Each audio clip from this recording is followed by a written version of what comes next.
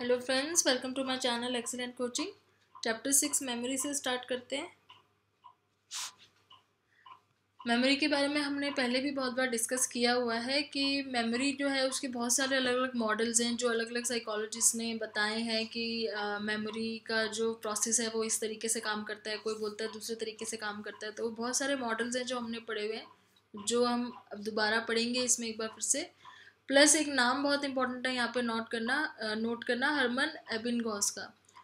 Harman Ebbinghaus ने memory के ऊपर काम किया था जब उन्होंने खुद अपने आप को कुछ ऐसे वर्ड्स याद करवाए थे। उन्होंने याद करे थे जो कि नॉनसेंस सिलेबस जिन्हें बोलते हैं, जिनका कोई मीनिंग नहीं होता। और उसके बाद उसको दोबारा से उन वर्ड्स को याद करके देखा था कि किस तरीके से हमें याद होता है, कैसे हमारी मेमोरी काम करती है, कैसे हम भूल जाते हैं। फिर इन्होंने एक लर्निंग कर्व दिया था। जिसमें इन्होंने बताया था कि शुरू शुरू में हम बहुत जल्दी भूलते हैं। इनके जो स्टडी थी, उसका मेजर फाइंडिंग ये था कि हम शुरू शुरू में बहुत जल्दी भूलते हैं और धीरे धीरे हमारे भूलने का प्रोसेस स्लो हो जाता है। तो एबिन गॉस ने बहुत काम किया था इसके ऊपर, लेकिन ये बहुत ज़्यादा सिंपल स्टडी थी। इसमें बस इन्होंने कुछ लिस्ट ऑफ़ वर्ड्स बनाए थे जिनको इन्होंने याद किया था। उसमें से सेंसिबल सिलेबस मतलब कि कुछ ऐसे सिलेबस थे, ऐसे वर्ड्स थे जिनका मीनिंग था और कुछ ऐसे थे जो जिनका मीनिंग नहीं था नॉन सेंस सिलेबस थे। तो ये इन्होंने बहुत सिंपल सी स्टडी करी थी कि कुछ वर्ड्स याद करें और उनको फिर बाद में रिकॉल करने की कोशिश करी। अब उसके बाद भी बहुत सारी कॉम्प्लिकेटेड स्टडीज़ हुई हैं मेमोरी के ऊपर। अलग अलग तरह के मॉडल्स बनाए गए हैं मेमोरी के, कि किस तरीके से हमारी मेमोरी काम करती है। तो उससे सबसे पहले हमारे पास जो मॉडल जो आता है सबसे हर जगह पे आप देखोगे कि इन्फॉर्मेशन प्रोसेसिंग मॉडल से ही स्टार्ट किया जाता है। सबसे बेसिक मॉडल है ये इंफॉर्मेशन प्रोसेसिंग मॉडल और इसमें ये समझाने की कोशिश करी गई है कि एक मेमोरी का जो प्रोसेस है हमारे ब्रेन में, वो उसी तरीके से होता है जैसे कंप्यूटर का होता है। कंप्यूटर को जो लोग जो कंप्यूटर पे काम करते हैं तो उनको ये नॉलेज होगी कि कंप्यूटर में एक रैंडम एक्सेस मेमोरी होती है जो टेम्परेरी होती है। जैसे आप बंद कर देते हो सब कुछ तो वो उसमें वो चीज़ें लॉस्ट हो जाती हैं। तो टेम्प्रेरी मेमोरी होती है या वर्किंग मेमोरी जिसे कह सकते हो रैंडम एक्सेस मेमोरी और एक मोर परमानेंट मेमोरी होती है, जिसको हम हार्ड ड्राइव कहते हैं। तो जिस तरह कंप्यूटर के पास दो मेमोरीज हैं, ऐसे यही इंफॉर्मेशन प्रोसेसिंग अप्रोच कहती है कि एक ह्यूमन ब्रेन के पास भी दो टाइप की मेमोरीज हैं। एक तो टेम्प्रेरी है और दूसरी परमानेंट है। तो बिल्कुल कंप्यूटर के प्रोसेस से इसको कंपेयर किया हुआ है इस मॉडल में। दो चीज़ें हमें ध्यान रखनी है कि हमारा जो मेमोरी का प्रोसेस है वो हो सकता है कंप्यूटर की तरह हो, लेकिन हमारा ब्रेन कंप्यूटर की तरह काम नहीं करता है बिल्कुल भी। क्या डिफरेंस है? जैसे कंप्यूटर में आप कोई फ़ाइल सर्च करते हो तो जब तक आप उसका स्पेसिफिक नाम ना डालो, वो फ़ाइल आपको ढूंढ के नहीं दे सकता। लेकिन अगर आपको कोई चीज़ याद करनी है तो आप उससे रिलेटेड पार्शली कोई भी इंफॉर्मेशन के बारे में सुन के, सोच के अपनी उस चीज़ को याद कर लेते हो। आपको ध्यान में नहीं आता तो आप थोड़ा बहुत एक वर्ड सुन के किसी का नाम याद करना हो तो आप याद कर लेते हो, लेकिन कंप्यूटर ऐसा नहीं कर पाता।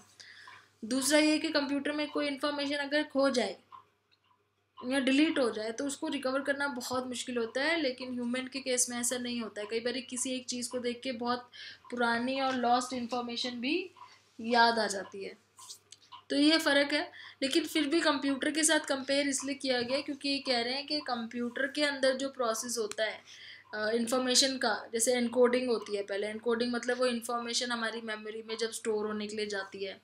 फिर वो स्टोरेज होती है स्टोर हो जाती है और बाद में रिट्रीवल होता है रिट्रीव करना, याद करना।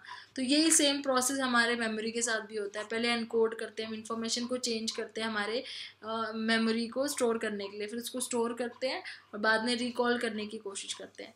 तो कंपेयर करा हुआ है, लेकिन ये नहीं बोला कि बिल्कुल ही कंप्यूटर की तरह ही काम होता है। तो इन्फॉर्मेशन प्रोसेसिंग अप्रोच ये एम्फेसाइज कर रही है कि हमारी मेमोरी में भी एनकोडिंग प्रोसेस होता है स्टोरेज होती है रिट्रीवल होता है।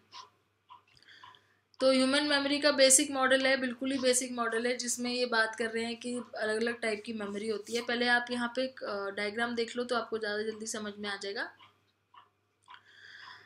ये यहाँ पे दिखाया है कि जैसे कंप्यूटर में मैंने बताया कि एक टेम्परेरी मेमोरी होती है, एक परमानेंट होती है। ऐसे कह रहे हैं कि ह्यूमन ब्रेन में भी दो टाइप की मेमोरीज होती हैं। सेंसरी मेमोरी हो गई, जो बिल्कुल ही टेम्परेरी होती है। जिसमें इंफॉर्मेशन बहुत थोड़ी देर के लिए ठहरती है may be less than one second के लिए। सेंसेस में, जैसे आपने कोई चीज़ एकदम से देखी है, उस पर आपने ध्यान नहीं दिया, वो आप, आपने देखा और आप भूल गए। ऐसे ही आपने कोई चीज़ सुनी और आप भूल गए। तो ये सेंसेस में जो हमारे मेमोरी रहती है, काफ़ी सारी चीज़ें हमें दिखाई देती हैं, काफ़ी सारी चीज़ें हमें एक साथ सुनाई पड़ रही होती हैं। इसलिए इसकी कैपेसिटी बहुत हाई है, लेकिन इसकी ड्यूरेशन बहुत लेस है। एक सेकेंड से ज़्यादा वो चीज़ हमें याद नहीं रहती।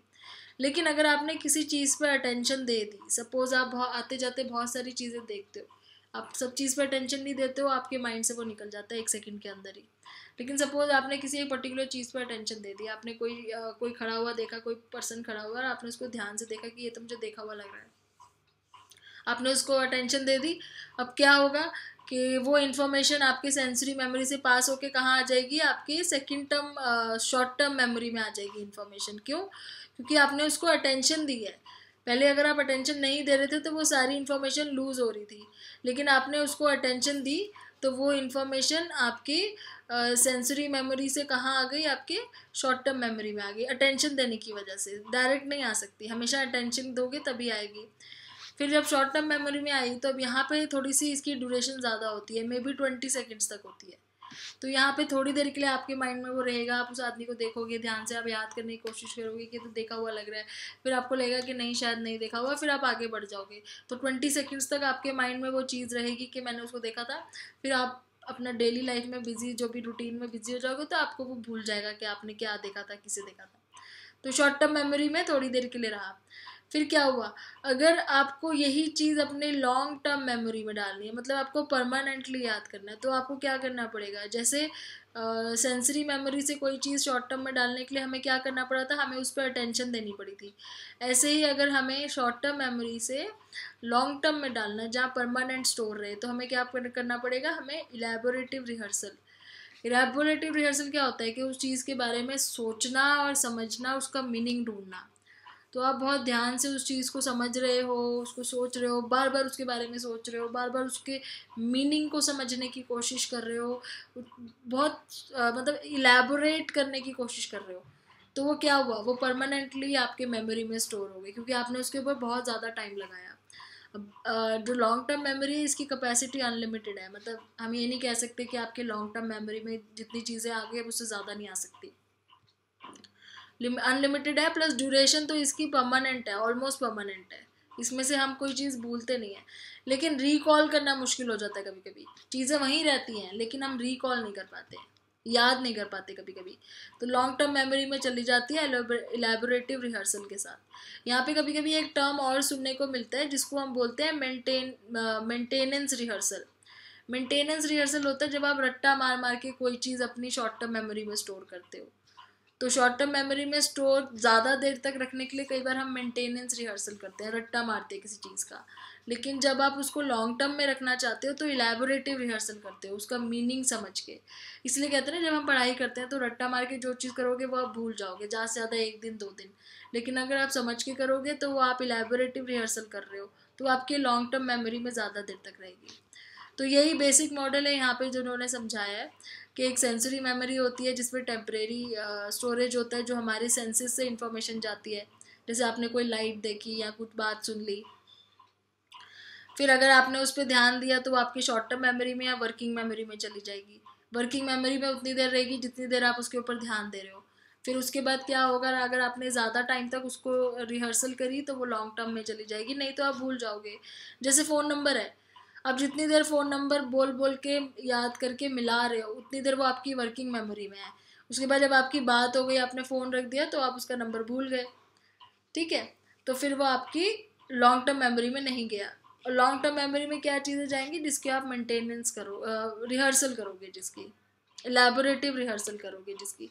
उसको बार बार बोलोगे, लिखोगे, उसका मीनिंग समझोगे, उसको रोज़ एक बार रिहर्स करोगे तो वो लॉन्ग टर्म मेमोरी में जाएगी।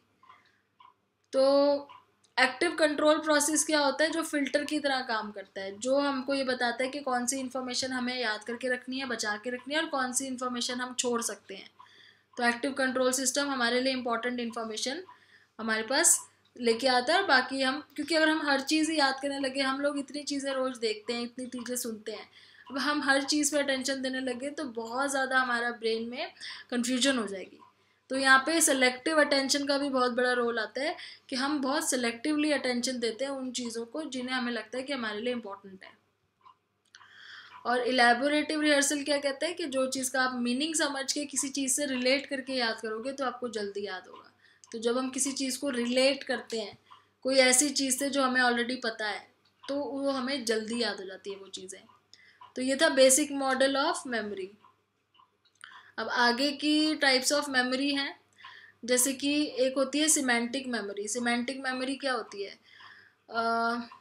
इन्होंने जैसे एग्जांपल दिया हुआ है यहाँ पे कि the first kind of information in memory is general abstract knowledge about the world जो हमें वर्ल्ड के बारे में नॉलेज है। जनरल नॉलेज है, जैसे प्राइम मिनिस्टर ऑफ़ रशिया या अपना प्राइम मिनिस्टर ऑफ़ इंडिया कह लो या कोई ऐसे फैक्चुअल नॉलेज है जनरल नॉलेज है हमारे को वो सिमेंटिक मेमोरी हो गई है। सो so, यहाँ पे अगर आप पढ़ो तो लिखा हुआ है general abstract knowledge about the world तो जनरल नॉलेज होगी जो जनरल नॉलेज जिसे हम बोलते हैं वो हो गई सिमेंटिक मेमोरी तो semantic memory allows us to represent and mentally operate on objects और situation that are not present and not open to examination by our senses the owner of a semantic memory system can think about things that are not here now तो कह रही कि जो चीज़ें आपके सामने नहीं है, आप उनके बारे में भी सोच पाते हो सिमेंटिक मेमोरी जैसे आपको पता है कि एक दिन में कितने आवर्स होते हैं, वो आपके सामने अभी नहीं है पूरा दिन, आपके सामने वो चीज़ नहीं है, वो एब्स्ट्रैक्ट चीज़ है कि एक दिन में चौबीस घंटे होते हैं, फिर भी आप उसके बारे में सोच पाते हो आपको चीज़ें याद है। आपको पता है कि प्राइम मिनिस्टर कौन है? वो आपके सामने नहीं है, फिर भी आपको पता है कि वो कौन है। तो ये सिमेंटिक मेमोरी में आ जाती है, जो एब्स्ट्रैक्ट चीज़ें हैं, जो हमें नहीं दिख रही हैं और जो जनरल नॉलेज में आती हैं। सेकेंड टाइप ऑफ़ मेमोरी में आती है एपिसोडिक मेमोरी एपिसोडिक मेमोरी होती है जो एपिसोड्स की तरह हमने एक्सपीरियंस की हुई है, जो हमने देखी हुई है। जैसे अगर हम पुराने टाइम में चले जाएँ, अपने पास्ट में चले जाएँ तो हमें जो जो चीज़ें वहाँ दिखेंगी, वो सारे एपिसोड्स हैं।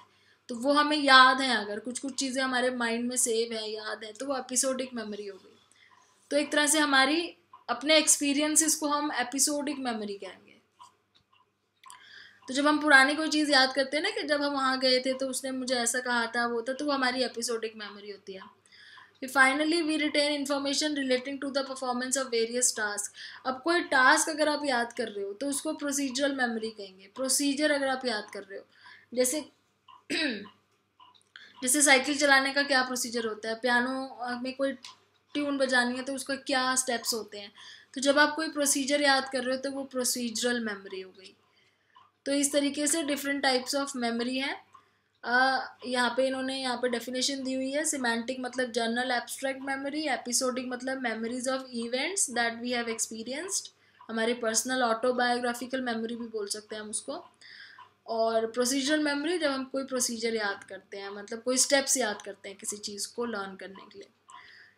तो उसके बाद अब सेंसरी मेमोरी के बारे में डिटेल में पढ़ेंगे नेक्स्ट वीडियो में। Thanks for watching